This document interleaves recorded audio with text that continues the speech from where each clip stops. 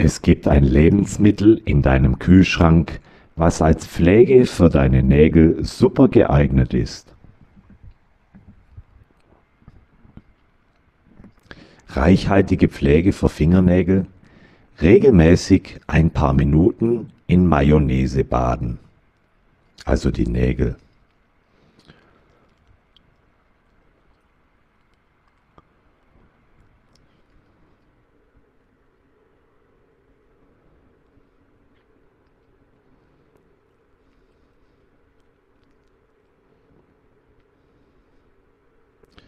Und schon wird dein Traum von tollen Nägeln wahr.